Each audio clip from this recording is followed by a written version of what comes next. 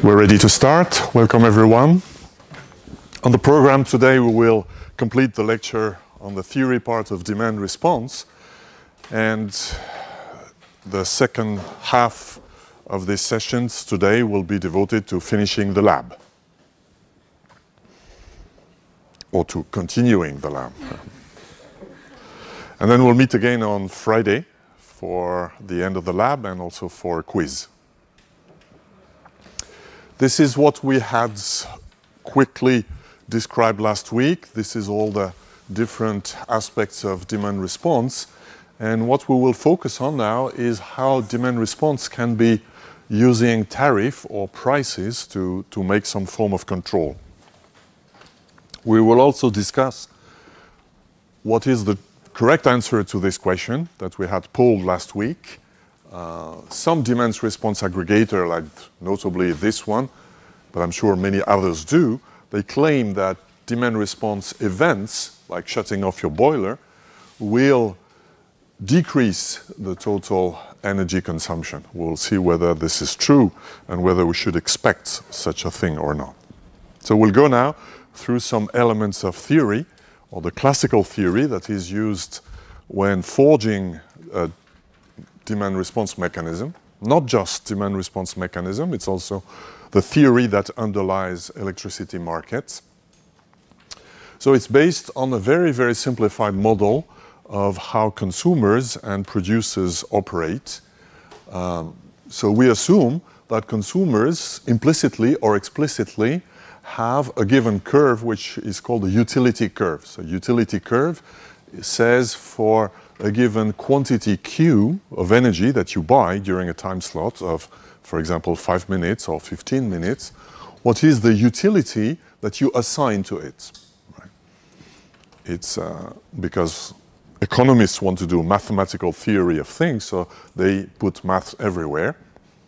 And uh, perhaps the, the, most classical view of this uh, utility function is something of, of that kind of shape, which is here concave.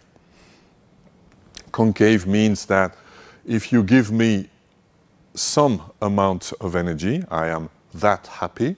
If you give me much, much more, I am a bit more happy. And a concave curve in this se setting here, when it's increasing, means that it has diminishing returns, that the um, the derivative is decreasing. The derivative becomes smaller. So if I have already a large amount, if you give me a delta Q, the increase in utility is smaller. That's a general way of modeling a utility function. Usually, we assume a utility is concave. As opposed to a cost, I will say that is usually assumed to be convex.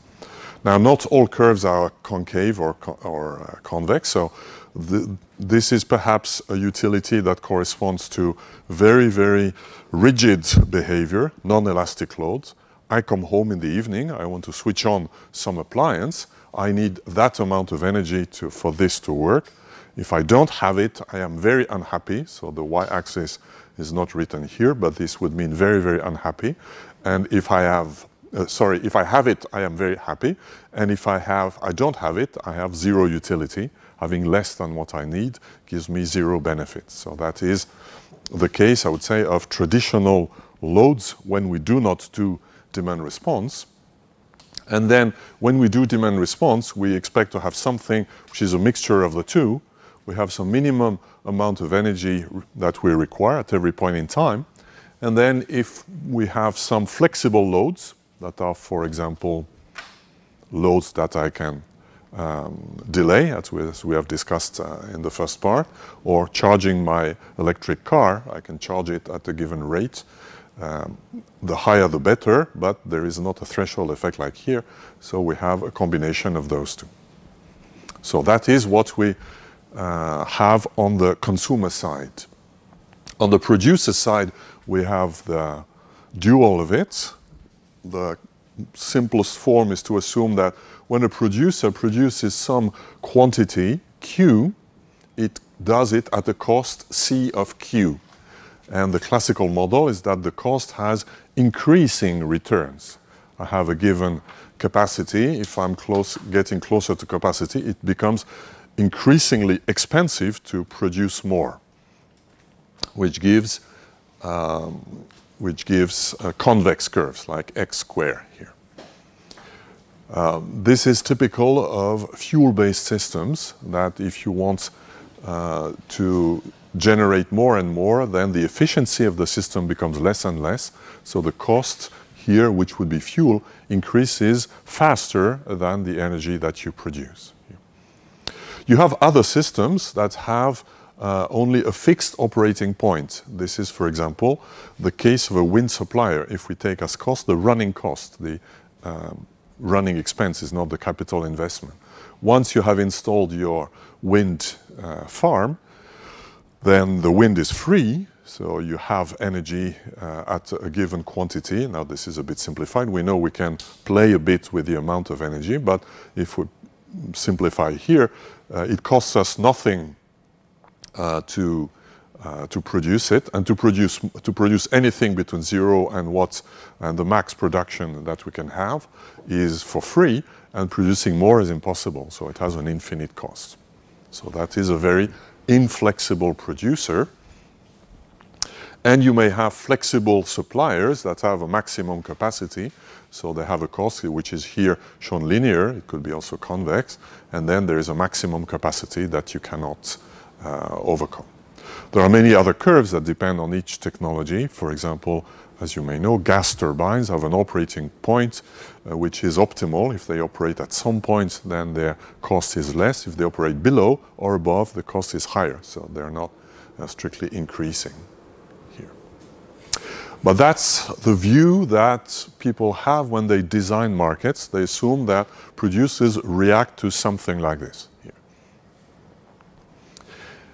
Then, to make the theory complete, the curve of interest is not the supply or the demand, it's not the utility or the production curve, but the derivatives of those curves that are called the demand and supply curves. So the demand curve is the derivative of the utility. So implicitly we assume it, there is a derivative and it's uh, interpreted as the marginal utility. So if we take Uh, this elastic load here, then its derivative, which is decreasing, will be something like this. And similarly, if I take a very simple and smooth producer that has a convex cost curve, then its supply curve will be something a bit similar, which is also increasing, perhaps not convex, but traditionally is assumed to be increasing. Those are the key curves that are called the demand curve and the supply curve. So are the ones you will see everywhere when you read technical specifications of Swiss Swissgrid or of other kind of uh, contracts you may want to form to do demand response or to, en to enter into a enter a market, you will have to provide those curves here. And then a, a very simplified theory of economy says that in a perfect market where all actors are rational and nobody's cheating, so that's, as you can see, very far away from reality, then the market should settle at a point where the two curves intersect.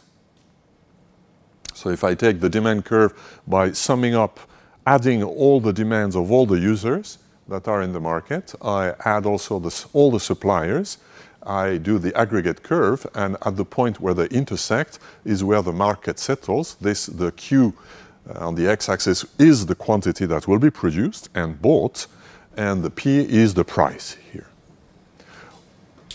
Uh, why is that? Uh, where is why is that? Well, the explanation for that is given here if I am a consumer, a rational consumer, I want to maximize my utility. So I have to go to the market and I don't know what exactly the price will be. For every price that there is, I will have a total benefit for me, which is the utility, U of Q, minus how much I pay. If the price is P, I pay PQ. So if I want to maximize my utility, I will agree for a point where the derivative is zero. If we believe that's a, a, smooth uh, curve here. So the derivative of u, u prime of q, will be equal to p here. So the quantity that I will buy at this price is the quantity that makes me uh, as happy as possible. It's like when you go shopping somewhere, you buy, if you go to a very cheap place, you will buy lots of clothes because they are very, they are very cheap. Uh, but still, you will not buy an infinite number. If you go to a very expensive place, you will buy a few. So that's exactly what this thing is giving. And for the supply, it's the opposite. The supplier wants to maximize its revenue, so it will sell as much as it can, but there is a cost of selling. And if you go beyond the point where there is a zero derivative, that would mean typically that you start losing money, that the benefit is decreasing, so there's no reason to sell more if selling more costs you more than selling less.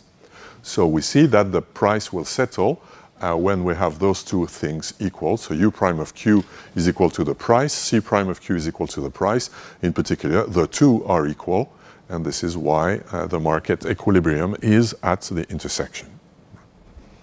That's the theory.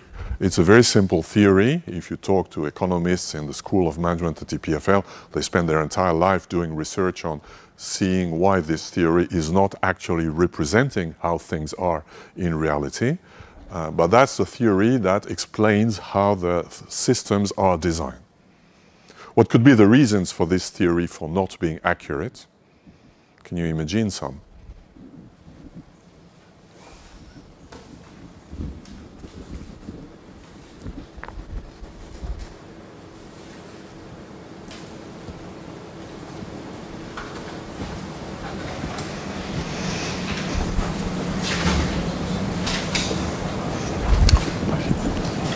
Imperfect market where there is influence of one of the generator over? There could be imperfect market where here I'm assuming the price is given is something exogenous, so it's given by the market, and as an actor, I don't control the price. So I just react to the price, which happens if we have what we call uh, price takers, which occurs when you have a large number of small uh, agents that are each unable to influence the market other than by saying I buy or I don't buy or I sell or I don't sell at this price. Of course, if you have one huge company that is deciding, which has the capability to inject some Q or not, then a huge company can uh, manipulate uh, the supply curve, for example, by deciding to supply or not to supply. There's a historical example in the energy sector.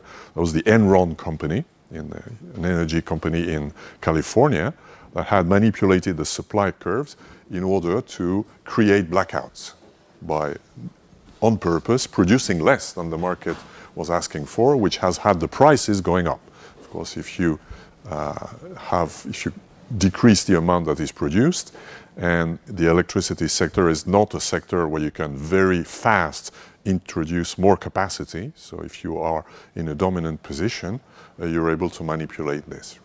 We've seen that in other domains, for example, in the, if the quantity here is not uh, energy but clothes, we see that companies like Amazon or Zalando are selling at a price which is below their, their benefit. So they're not operating at this point, they're operating below in a certain segment of the market until all competition dies out. So they kill uh, competition by selling at prices below their operating expenses. And then once the competition is, uh, has disappeared, then they can raise the prices again. Nonetheless, this is what we are submitted to, and this is how uh, demand response is designed. Uh, for example, here um, one of the papers we've seen last week was analyzing, so here it's showing the demand curve for light load. So you see the demand curve is very rigid. It's not a straight line. It's decreasing, but it's almost vertical, which means there is a very, very small amount of flexible loads. And you see that the demand uh, can move from light load. Of course, this curve is true at every point in time. For example, for a 15 minute interval during the day, that might be at the off-peak period, that's at the peak period. If the supply curve remains the same because we cannot adjust it, then we'll see that there will be a price difference. And now depending on how the demand curve uh, moves, we see here that a small change in the demand curve or a small change in the supply curve. In this example, this is how the supply curve has changed after an outage. It could also be after an Enron manipulation. And you see that if you're able to manipulate the curve such that the demand hits the, this high part here, then you're starting having very high prices. Why can we manipulate or wh why are the prices volatile in some sense? I mean, the, a side effect of this economic theory, which is still close to how markets operate when there are free markets for energy. There is not free market for energy everywhere. In countries like Switzerland, it's a mixture of free market and regulation. Um, we see that a small change in something like the supply curve can have a dramatic impact on the price. Here we see a price that's multiplied by a factor of three here. Right? And uh, that can happen because the price is equal to the marginal cost of production, not to the average cost of production. So that's the essential take-home message of this theory. Things settle at the marginal here, not at the average, the average which would be given by the integral. So if the price to produce the last 1% of energy is immensely high because we need to import from somewhere where they know we, uh, we must buy it, so they sell it at a very high price. Uh, then that's the price of the market, even if the 99% of the rest is produced at very low price. This is uh, what this economic theory uh, gives. Of course, this is for one market. In electricity, there are multiple markets. There, are, there is the day-ahead market and the real-time market. So each of the markets is susceptible to this. And the price here might be the price of the real-time market that might be different from the price of the day-ahead market. Typically, day-ahead prices are much lower, but not always. Now, what this is showing is that if I have uh, if I have a flex, if I replace those inflexible loads by uh, flexible loads, so if I, if I, introduce some amount of demand response, of course, then we are more likely to not move to these very high prices here, because if the if the curve here is not very steep, then people will prefer not to consume at this time rather than buy at these tremendously high prices. So elastic loads may avoid price peaks. This is one of the, uh, of the messages that are used by the proponents of demand response by prices here. Let's check our understanding of this theory of uh, demand curve here. Let's assume through some demand response mechanism, I have the ability to disconnect some loads when the prices become too high, how would the demand curve look like in such a case? This might happen, for example, if you're a utility in a regulated market where you can, as a utility, you're in charge of buying the energy that you resell to your customers in a non-regulated, in a regulated uh, system. And to, in order to avoid the very high prices that you're submitted to, you may want to start demand response program, which means shut down some of the heating systems in winter or air conditioners in summer. So that's an exercise on how to read those curves. So this curve is the classic curve that is very smooth, so it's probably not the one we're interested in. Now, how do I read such a curve? I mean, for some reason, we plot Q and P. It seems to be a pattern in electricity. We always put uh, reactive power on the y-axis, active uh, on the uh, reactive on the x. So normal in math, usually we would do the other way around. So the, the driving variable is this one. If I change the price, how does the quantity vary? So we see here that if the price is increases, uh, the quantity decreases, and then between P1 and P0, the quantity is completely insensitive.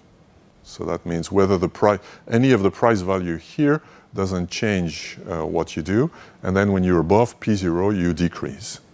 So this is uh, not expressing what we want. This is expressing at the opposite, uh, customers that have an, perhaps an expectation that the price should be in this range, and when it is in this range, they think, they say, well, that's the expected thing. They, they stay where they are.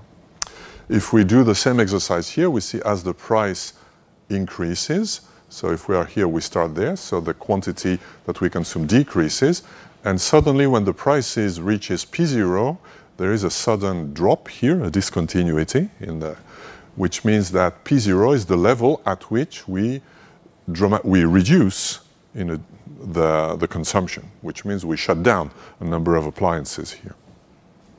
And then if the prices further goes down, we would continue decreasing. So that is uh, corresponding to the pattern of low disconnections at a given price threshold. So the correct answer is this one, number three.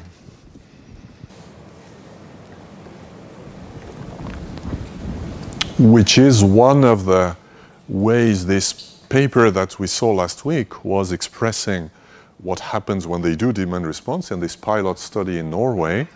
Uh, this is exactly so. The, of course, the elasticity is very small, so the the curves are practically vertical, but there is this jump that expresses exactly that when they start switching off uh, appliances or when they signal a very high price at a period of time where people are expected to know prices might be high, then a large number of appliances will switch off, which gives the, uh, this, uh, this price here. And uh, they expect that this would have uh, the impact of in the area where they do demand response. Uh, here is the price curve that you will get versus in the area we don't do uh, demand response here.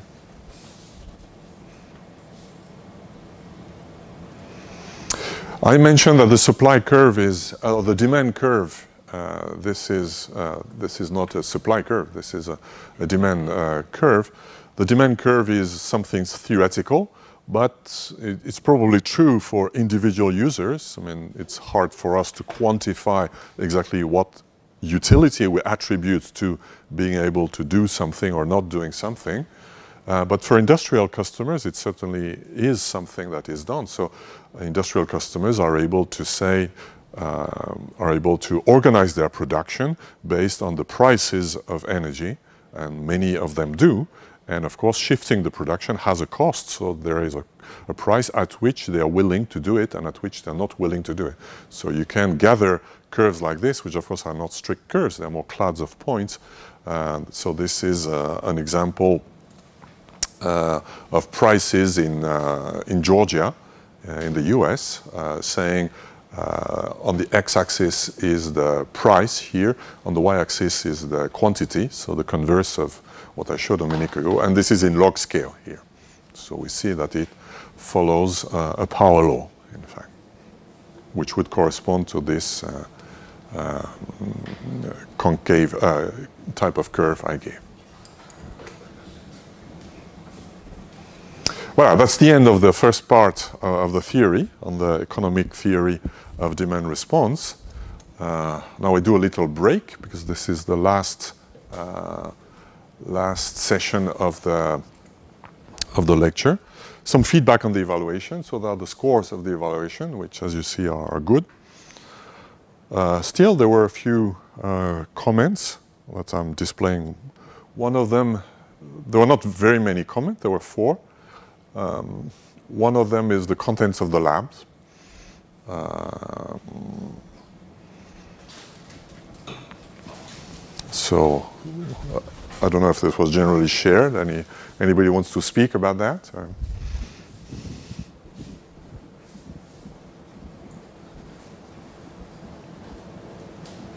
Okay, of, of, course we'll try to avoid that pattern as much as possible. Uh, there was another more interesting comment. Uh, I'll go straight to the point. I'm not here to do TCP/IP. and I don't know why we got a course on security. It's not even our job. Right? Is it your job, right? Uh, so as you know, two weeks ago, there was this ransomware, WannaCry, that hit practically all kinds of utilities. So not surprisingly, some power utilities were hit. Of course, many power utilities that were hit will not make it public, but uh, some of them did. So there's one in India, and I'm sure there are plenty others. Um, so of course, this is not your job. I mean, trying to hammer against uh, this is not a course on, and this is not a, a, program in IT security. And there are there is another program in IT security at EPFL, and you're not expected to become experts in IT security. But security awareness, and in general, I would claim information technology awareness is part of your job, right? You are we're in the 21st century. Uh, so it's part of the electrical engineer's job, just like it's part of the mechanical engineer's job, of the civil engineer's job. I mean, what are the jobs today? Well, what is, for example, I'm sure you know Marco Pignati, is one of the TA, or was one of the TAs of this course. I mean, here's his PhD thesis. He's starting, he's working now in a startup company. What does the startup company do? They sell PMUs, right? So if you sell PMU, do you believe that you don't care about this, you don't care in security. Of course, no. Of course, if you need a very sophisticated programming job, perhaps you will hire an IT expert for that. But for the standard kind of programming jobs, you will do it yourselves. And even if you don't do it yourself, you need to be aware of, um, of what it means to do it in a certain way. Right? And if your 1,000 PMUs that you've sold to a large utility are subject to this, then you're in big, big trouble, right? So, uh, end of the preaching. I hope uh, many of you will be convinced that the technology we develop today uh, is, uh, is embedded in computers, and we need to be aware of, uh, of, of how they work. Some philosophers of the beginning of the 20th century thought about that. There was the same problem 100 years ago when people were, because of the new technologies, the new, what were the new technologies? There were steam engines for the trains, and then the cars, and then the radio. And then some philosophers, some philosophers started to think, I mean, should we leave the understanding of those machines to the experts in this field? And the answer that at least advanced philosophers said, say, of course, you should leave the operation and the understanding of how to fix them, how to design them to the specialists, but you should have a mental model of how they work. When you drive a car, a car should not be an abstract thing that uh, does uh, things when you press a pedal or not. You should have a mental model of how a car works, that there is an engine. There are not little dwarfs that are pushing you or something, right? So you have a mental model. That's what we're doing here in this course. We're doing a mental model of security and of IT technology in general. So we go now into the, into the problem of knowing what happens if we do demand response, what happens to the, to, to the running of the grid. So one way to capture this is to use what is called elasticity. Uh, where is the So when we do demand response, so in gray here, I'm showing as a function of time a very highly stylized and simplified view of what the loads would be on a given grid. And if we want, for example, to do peak shaving here for whatever reason, so we change the, uh, the loads and we get the curve in red with demand response here. The hope is we will get something like this, but the question is, do we get this or do we get that? What's the difference here? Here there is what is called a rebound. We have uh, something more here. Should we expect this or that? What do you think?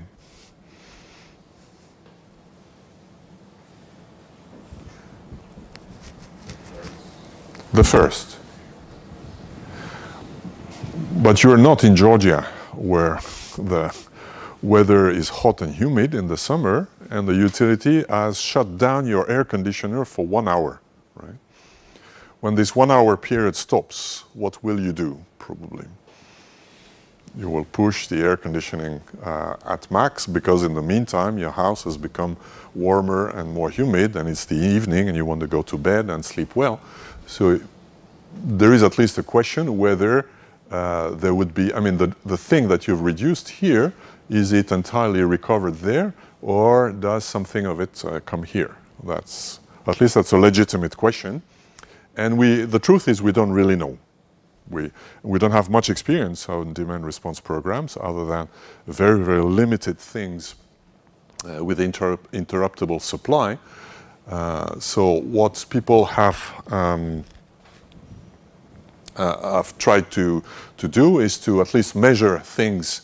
Uh, and what we find, for example, this is uh, from a response program in, uh, in the US, I don't remember where, where uh, they did find that there was this rebound effect. So they were able to uh, attribute the load to air, pure air conditioning and other things.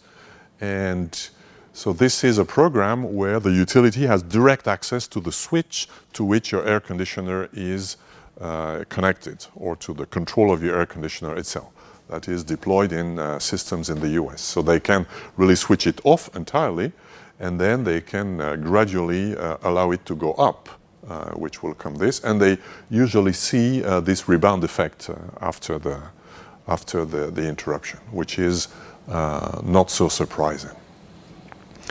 The technical question is how we capture that in, in uh, quantitative terms if we want to do an MPC for controlling, for example, uh, a global system. So here, uh, the key concept is that of elasticity. Elasticity is defined as the derivative, so assuming that the quantity reacts to price, then the elasticity is defined as the as usual, the inverse of the derivative of quantity to price in log scale. So it is derivative of log p divided by the derivative of log q, or the differential of log p divided by the differential of log q. So it's 1 over the derivative, uh, no, sorry, dq over q, uh, p over q, demand curve this formula is correct, and I think this one is incorrect. So dq over q is derivative of log q divided by log p here. Should, should uh, switch p and q in this formula. So it's obtained from the demand curve. If we have the demand curve in natural scale, of course we don't get that. If you write it in log scale, uh, that's in fact the derivative of the converse curve. So it's 1 over the, the slope of the curve here. So this can be, at least in economical model that utilities gathers about their users, uh, they can get uh, those numbers here. Uh, in the worst case, if a demand is completely inflexible, then the elasticity is zero, so the slope is infinite, and 1 over the slope is zero, uh, which corresponds to uh, completely inelastic thing. When we do demand response, now we start shifting demand from one time slot to the next. So the key quantity that is sometimes used is called cross elasticity, which is the derivative of the demand at a time t plus h, where h is a time offset, divided by the derivative, or the log derivative, of the price at time t. h can be positive or negative. Now, capturing this is another story, but some people have tried at least to do what if analysis and capture what happens if uh, there is uh, some assumptions we can make on cross elasticity. For example, this paper here that we've seen also last week has given different models of the cross elasticity coefficient here and they've essentially done two models. The first model, which they call, uh, the terminology is a bit uh, special, uh, they call inflexible. So an inflexible response to changes of prices consists in assuming that some fraction of the prices, a very small fraction, is delayed this corresponds here to the three hours. So here t is one hour. t equal one gives one hour. So when we do a demand response event, in the next, in the three hours that follow, there will be an increase of the demand. And somehow the users are expecting also that this thing might happen. So they also increase their demand before.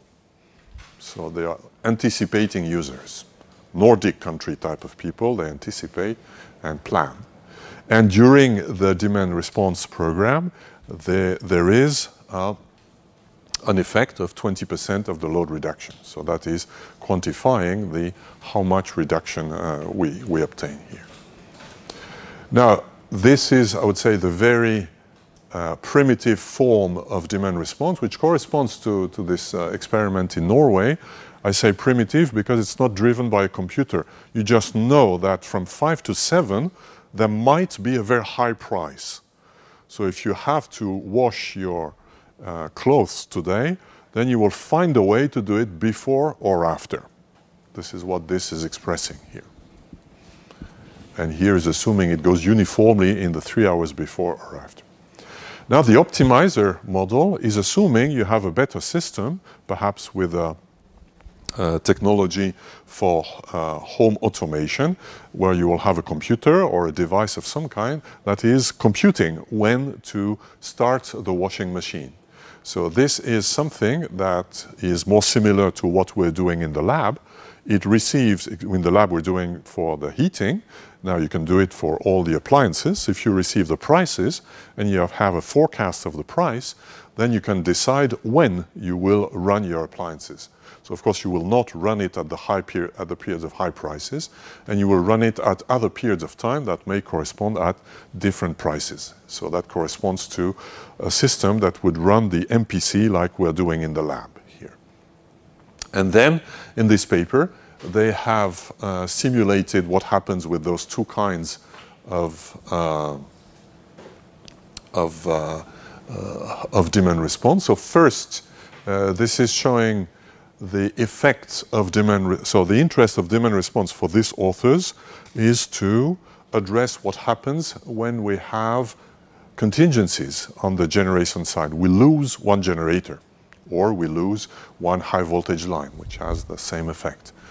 Um, then if we don't have demand responses, demand response program, then as we have seen before, the shift in uh, curve will force the prices to go up. So this is showing some, based on real data, uh, prices in a normal day on the real-time market and prices when there is a contingency here.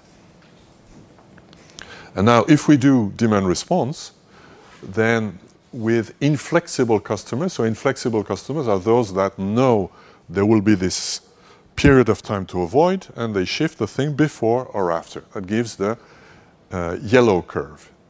And the, the initial price, that's the curve I've outlined in purple. That's the prices we would have. And if we have the yellow curve, then we see that in fact, it's true that when there is this peak here, we're responding to that, but there is a rebound effect uh, that causes uh, rebounds and rebounds of rebounds here. So it is, in fact, difficult to manage. This is a take-home message of this paper. If you simply do demand response without having optimizing users, then it's hard to control what will happen exactly because of the rebound effect. So you have to be able to avoid the second peak. Here, so in some sense, we see that there is a negative impact of demand response on the price, not on the price now, but on the price later. In contrast with optimizing uh, consumers that run the MPC, if their forecast of prices are fairly uh, good, then uh, the system will adapt. And as we know from MPC, uh, we adapt uh, in a robust way. So even if things change, if the forecast changes, the MPC will change, and we do get something that is better when the prices are, are high here. So this was not assuming, uh, this was assuming that the, we could capture the elasticity, and uh, which of course might or might not be true in reality. So take home message, well, demand response, if you do it just naively, uh, not surprisingly, it might backfire. If you do it, you should do it the correct way, which means on the user side, you should do optimization like we do in the lab. What we did not do in the lab is do, because uh, the lab is long enough and you, you, would complain even more, but the, uh, what you can easily imagine is that producers also must do the converse of what the consumer do. So when you start a demand response event, you decide today between 5 and 7, I will do demand response, you have to do that as the result of a global optimization that you have done with a model of the elasticity of your users to make sure that you will not have an even worse problem at seven o'clock, for example. So you have to do it uh, concretely. There was a, a, recent example in Spain where um, a lot of the production is coming from wind generation. And in some program, they started to do a demand response program from the peak hour, which is the end uh, of the afternoon, where they shifted some of this load to an off-peak period. But during the off-peak period, most of the production is based on wind generation, which is at a fixed and low price. But when you shift some of the load to that period, you have to increase the production during that period. Even if it's a low uh, production period, we are a bit like uh, this example here where the prices were low, but we have shifted some of the loads. And by shifting some of the loads, we needed to start gas turbines at a period of time where normally the wind would have been enough. And the starting of the gas turbines was extremely expensive, so that the, the overall balance was negative during the demand response program, was shifting loads for a high price period to a low price period that made the low price period become a very high price period. So those things happen. They happen if the producers or the utility or the TSO that's running the program is not doing a global optimization program like we do with MPC technology that we know well by now. Voilà. So that is the, the first take-home message on um, elasticity. The Next topic we will see is beyond the rebound effect, what is called by some authors evaporation. So evaporation is about is not about the rebound effect. So the rebound effect is simply saying if I delay a consumption or anticipate it, of course I will see earlier or later I will see more. That's a rebound effect.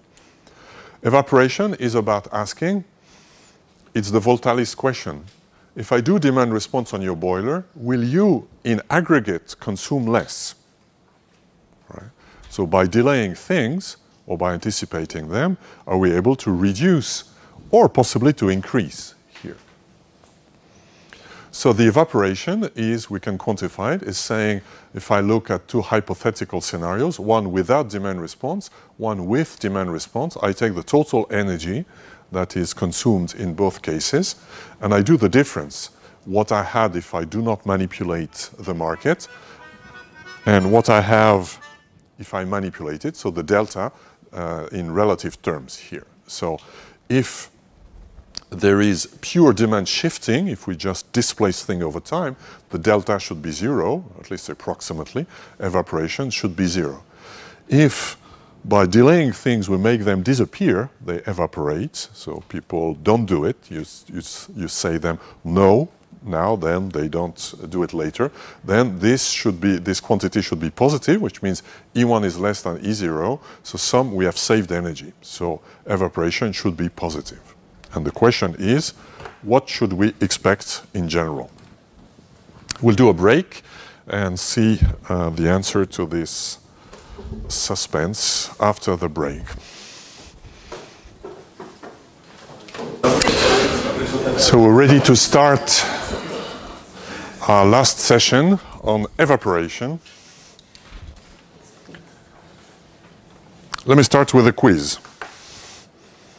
So assume after many years of hard work you've saved enough money to buy a chalet in the Swiss Alps or and the problem with the chalet is you still need to work in the winter, so you're not there most of the time. Should you uh, keep heating on when you are away or not? Right. So you come and during a weekend, uh, you leave and come back to Lausanne. During the week, I mean, should you leave the heating on or not? Right. Assume you're interested in saving energy. Right. You heat with a heat pump, for example. So should I interrupt heating when I'm away? Or assume you do this, will this save energy? Well, they don't know, in fact, if you ask people. but there are pros and cons. I mean, you can say if I uh, if I shut down the heating, well, during the whole week I'm not heating, so I'm saving. But on the other hand, if I come back on the weekend, I'll have to heat much more.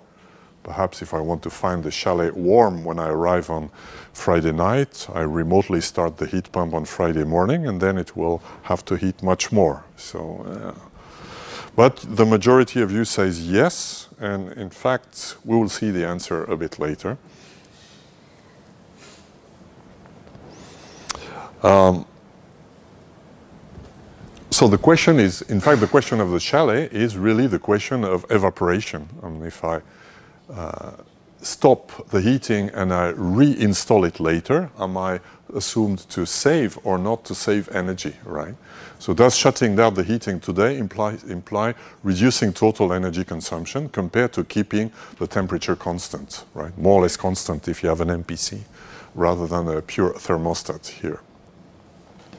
Now, uh, I stress again that this is not the same as the rebound effect. So certainly shutting down the heating now will increase tomorrow's energy consumption. That is certain. I will need to heat it up again when I come back. But that's not the question. What we're interested in is the uh, integral of the thing. So to see the answer, uh, we will use a simple house model. In fact, the same we used last week. Uh, the house model derived from Marquet that is simplified, but as we can reason qualitatively, the main effect will be captured here. So remember, this model is saying that when I consume some heat, some energy, it is multiplied by a coefficient of efficiency, and then it's used to do two things. One is to heat the walls, essentially, that is captured by the inertia, and the other is to heat the canton, to uh, heat the air, uh, which is captured by the leakiness uh, coefficient. Right? We can interpret this as an equation of a leaky bucket. A leaky bucket is a bucket that is full of liquids, red it's wine, probably here. Uh, you put some liquid into it and uh, it leaks here. If you do the equation of this, the rate at which you put things give this here, U epsilon, that's the amount of liquid you put here. The, you can interpret the temperature at time t as the uh, level of how full the bucket is, and then how much you leak is perhaps not proportional, but is an increasing function of the difference between the temperature and theta of t, which is corresponds to level zero here. And uh, so when you put some liquid into this, it's used for two things. First, to increase the level that is captured by, uh, by this uh, inertia term here, and it's also used to uh, feed the leak here. So the equations are the same uh, as that, and this uh, analogy can help us. Now I want to see what happens over an entire period of time, so I integrate from 0 to tau, and if I integrate this from 0 to tau, I will have the on the left the integral of the energy produced. On the right-hand side, I will have the integral of the temperature difference inside and outside. And on the left hand, on the final term, the integral of all this means gives simply the beginning, the end minus the beginning. So it's the temperature at the end of the period minus the initial temperature. Right. Now, we're equipped with this model. We can compare the two cases, the two scenarios. One, with you are uh, very pessimistic or optimistic, depending. So you heat your chalet the whole week, even when you're away, or you're lazy, you don't know where the off button is. So you, you continue uh, heating it, versus you do some interruption, but the interruption is such that at the end you will still uh, you will still have the same final temperature because you want it to be uh, warm again when you come back here? So if I do the integral of this, I obtain this quantity here, which is exactly the formula we saw last slide. Now, if I compare what happens when I interrupt, when I interrupt, the temperature at time t will be less than or equal to the temperature which I have when I keep uh, the temperature constant. We're assuming we're doing that in winter. So if I stop heating, the temperature will start dropping. We saw that in the simulation of the MPC last week when we start injecting uh, energy into the building, then it starts decaying uh, exponentially. So we should have this, that is true at every time. Now, because the, if I replace the case with interruption, the thing will change. I will replace the t star by t, but since t is less than t star, this total integral here, which is affected by positive coefficient, will be less. So the integral of this will be less here. The final temperature I will have will be less or the same. Now it depends if I manage to reheat the chalet just before coming, so they will be the same. So those two elements will be the same, but this integral will be less here. So that the total energy that is put with interruption will be less here, which can be interpreted by this uh, scenario. So this is the scenario on the left when we keep the temperature constant versus when we drop, we let the temperature drop. Of course, we need more energy here than here.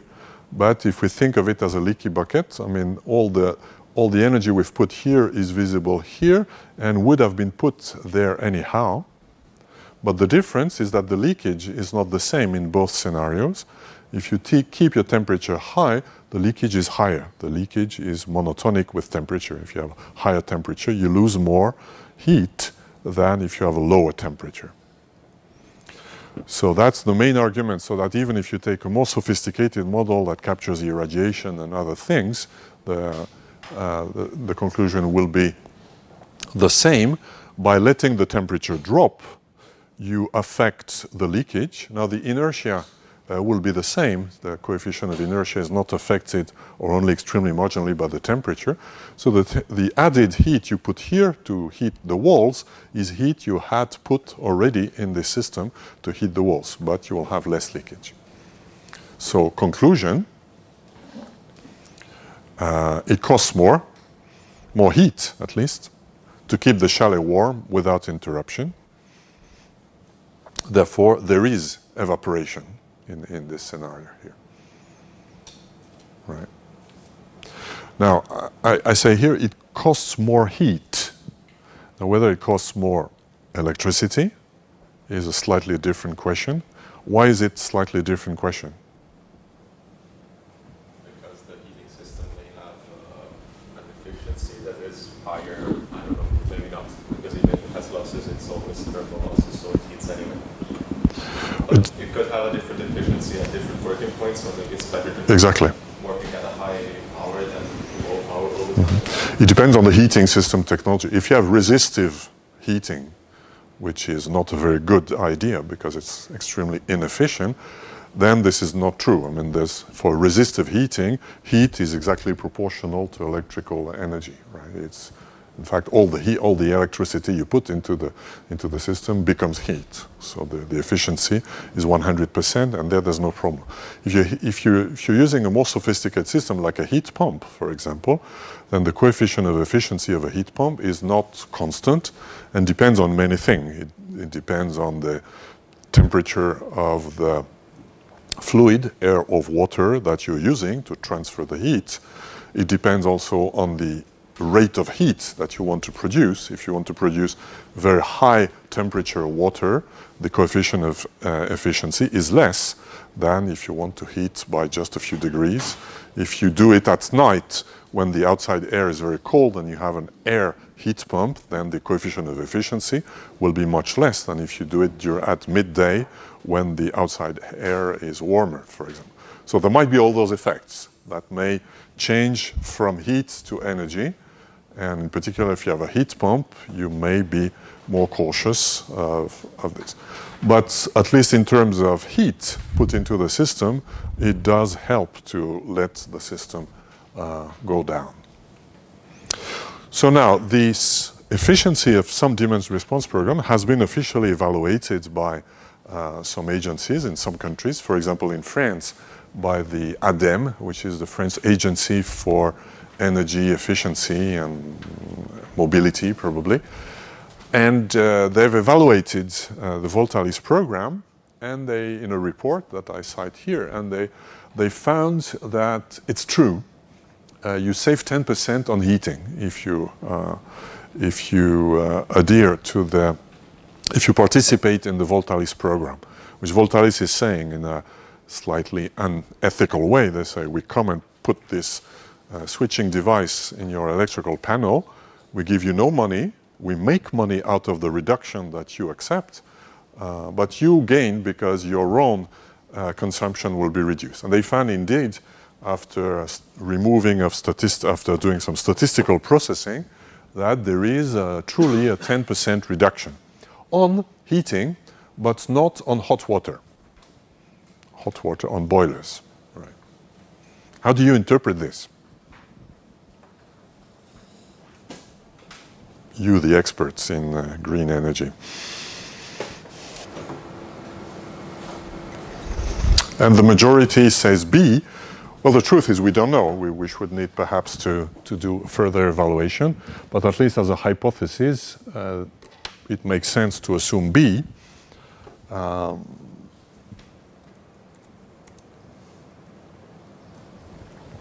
the evaporation, so all the, first we have to know that Voltalis is applying this to resistive heatings only, not to heat pumps that are um, resistive heatings in France are largely deployed. Uh, that's a symptom of the nuclear uh, uh, energy uh, majority in the supply. So for resistive heating, heat is proportional to energy consumption. That's the first observation. Uh, sorry, we'll come, come back to that later.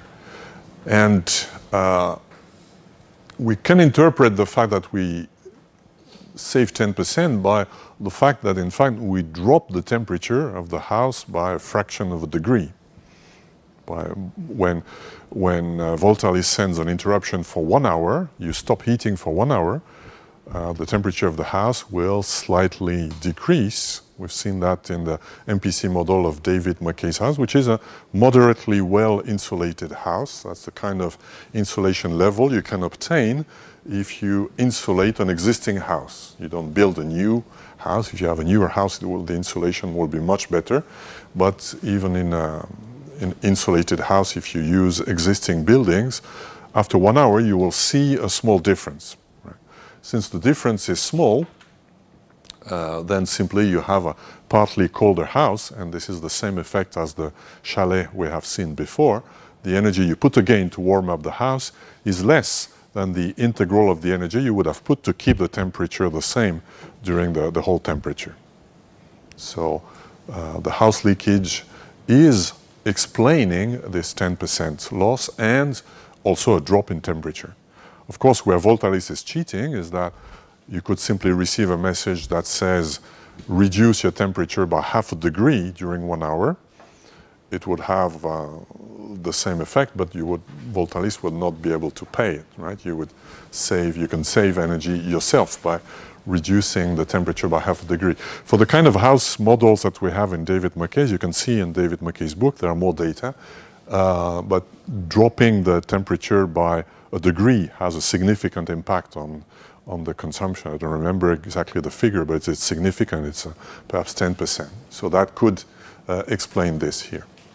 Now, boilers are typically well insulated and well confined systems. So, if you boil the hot water from 3 to 4 or from 5 to 6, it probably does not have a visible effect. This probably is uh, some effect because if you boil it five hours before using it, probably there is some loss, but it must be very small such that in the statistical noise it can be, cannot be um, uh, strictly uh, put forward. Voilà, so that's the, the main conclusion uh, from this. Now I want to put a, a caveat on, on, on, those conclusions. So we have seen that for such resistive systems, there is an evaporation. And so this is a bit contradicting the statement I did at the beginning where I said the goal of demand response is not to save energy, but is to better manage the production and the grid. Uh, here, well, we see there might still be a side effect on energy consumption. And as, as we discussed before, if you have a nonlinear system like a heat pump, then we need to be more careful as this, uh, things might be complicated. Um, in the future, the problem in the future, the grids will be compared to today. So the grids you will have to work with in your career will be impacted, at least in cold countries like here, even though today it's not cold, but the uh, yearly average is uh, cold. Um, there will be a large penetration of heat pumps, so the nonlinearities of them uh, will have to be modeled. And hopefully also there will be a large penetration of electric vehicles. So those two aspects are changing the, uh, the nature of the electric grid. For electric vehicle, you have a similar, similar effect. It's not very visible today because electric vehicles are marginal loads that have no impact on the global management of electricity consumption at the scale of a, of a country. But if we have 10, 20% uh, deployment of electric cars, we expect that this will have a visible impact on the grid. I mean, depending on the numbers, uh, if we would replace all mobility, which is powered by fuel today, by electricity, that would have an increase on the electricity consumption of a country of the order, now the estimations vary, some say 100%, some others say between 50 and 100%, but certainly it will have a dramatic impact on the consumption of electricity in any country, right? Even if we take the lower figures of with 30% penetration, we would have an increase of 20, let's say 20%. I mean, managing an increase of consumption of 20% is a major, uh, a major issue for, for many grids. It's an issue for the production side. It's also a major issue for the distribution grids because those increases will show up in the distribution grids. Normally, increase in consumption comes by growth of the population. So you have more people, you have more houses. If you have more houses, you build new extensions of the grids here. Now here we're talking of something else. We're talking of a penetration that is due not to more grids, but people who live there all of a sudden connect their car to the grid. So the grid itself will not expand by becoming bigger. It's the same grid on which we'll have to manage this. So certainly people will do uh, the same thing we did for the house we will need to manage, and this is one of the papers we've mentioned last week, we'll need to manage the charging of the electric cars. So that's very similar in terms of MPC as you had to do your car. And here, uh, there is a similar evaporation effect. Uh, if you charge at very high intensity, so if, if, you if I have a car and I want to charge it, and if I don't have to pay and I don't care about the grid, I will use the fastest charging possible. If I have a supercharger that can charge it in uh, 45 minutes, I'm happy. If the charging takes six hours, I'm less happy, even if I don't need it now, but I know during six hours my car is uh, not available. So if I buy a car, it's to be free and mobile. So I want to charge it as fast as possible. Unfortunately, high intensity charging has high losses also. Losses in the inverters, uh, perhaps even losses in the lines in extreme cases, but also losses in the battery. The battery have some resistance. If you charge it at very high currents, uh, there are losses that are not negligible. So you can um, increase uh, the, the losses by 10, 20% by charging at high uh, currents. Uh, so we have, we'll have similar effects. If we start doing demand response, uh, then we will have here uh, something that may have positive evaporation in the sense that if we force cars to be charged slowly, then we'll use less energy. But if we force a car to be charged later, that might be at a higher current, that may have a positive uh, evaporation. So take home message, when we will need to do an MPC type of optimization exercise like we do for the house, we will need to incorporate uh, this evaporation or cross-elasticity effect for uh, cars as well. Voila, uh, here are some of the references. So conclusions, um, demand response, which is just starting now, uh, can be seen as a form of virtual electricity storage and will be competing with the various forms of storage. Now, physically, it is not storage, so it is much, much cheaper in terms of physics, more complicated to use because you have users in the loop. And uh, as we have seen, it can act at the time scale of energy, competing with the other forms of energy markets, and also at the time scale of what we call power for real-time demand response uh, for some of those schemes. Well, and that's the end of this module and of this uh, lecture and of this course for the lecture part. Uh, are there, do you have any questions? No, then if you don't have questions uh, now, perhaps you'll have later that you may ask on, uh, to us directly on or on the Moodle uh, news group. The continuation today is the lab.